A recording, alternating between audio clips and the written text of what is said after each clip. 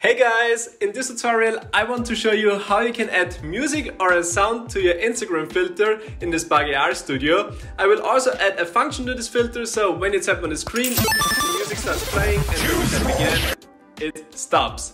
I will also talk about some problems you might encounter when working with audio files in Spark AR Studio.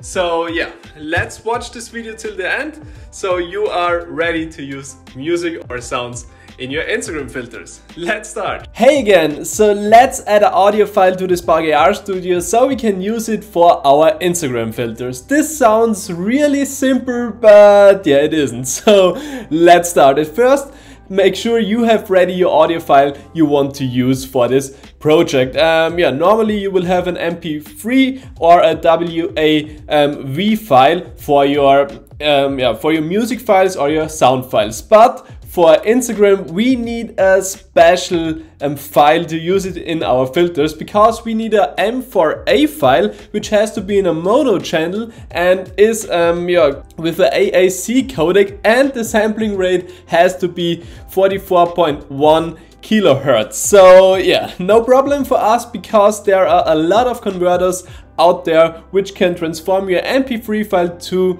yeah, a M4A file. So yeah, let's start. Um, for this video, I will use um, this website, audio.online-convert.com. I will put a link in the description, so just click on it and you will um, yeah, come to this site.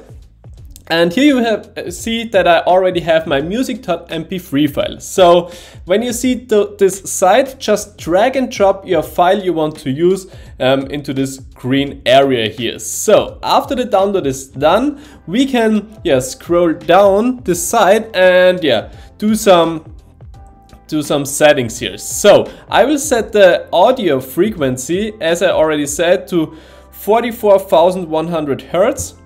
Then I will change the audio channel to mono. Um, you can also trim your audio here when you want to start the audio file at a specific time point, but I will leave it like that. And then we have also to select an audio codec and I will select, as already said, AAC. So now we can click start and after the file is processed, we can download it. So now just click on download and you can find it in your audio channel. And as you can see here, it is already converted to an M4A file. So back to this um, Spark AR Studio. Now we can um, drag and drop the file we have just created or downloaded into the Spark AR Studio. And after we have done this, we will find it here in our assets panel. And yeah, now we can start adding audio to our project, but we have to do a few steps. The first thing is to add a new asset to our project because we need a playback controller,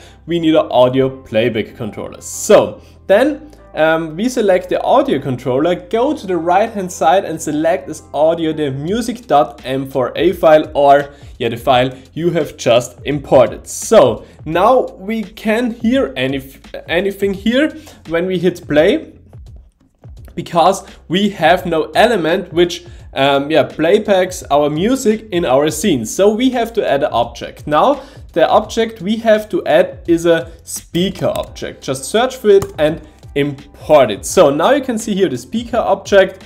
Then click on it, go to the right hand side and here select as audio um, the audio playback controller we have just created. And you can also um, yeah, play around with your volume here. Uh, also make sure um, this is checked so it is also audible. So now we can go to our audio playback controller and now when we hit play we hear our music playing.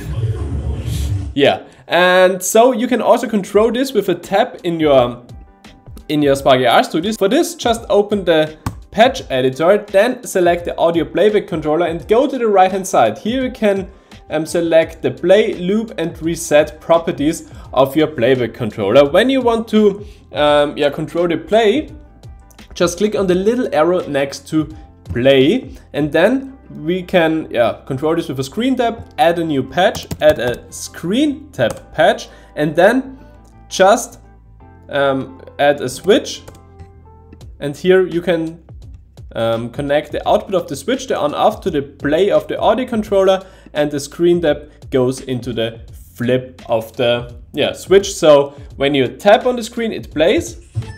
And when you tap again, it stops playing. But now you will encounter another problem when you test this filter on your device because you want the user to hear the sound when you record the filter and also play the music. But this will not happen with this um, yeah, with this settings here because you have to um, disable the microphone so the user also hears the music when he is recording the yeah the the filter. So for this we go to the left hand side to our scene, click on the microphone and then here click on the right hand side on disable mic. So now you can also hear the sound when the user hits the record button but you can't hear what the user is saying. So yeah, you have to decide if you want to hear the user or you want to hear the sound um, during the recording. But the uh, sound will um, will be on the recording afterwards. So nevertheless, you enable disable mic or disabled it.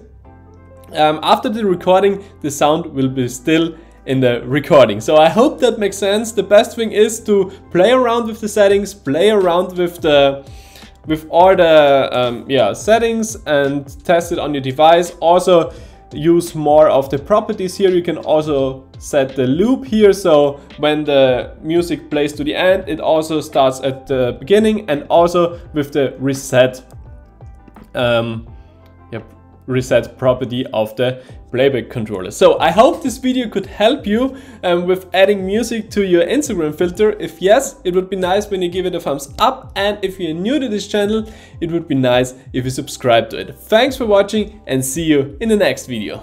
Bye!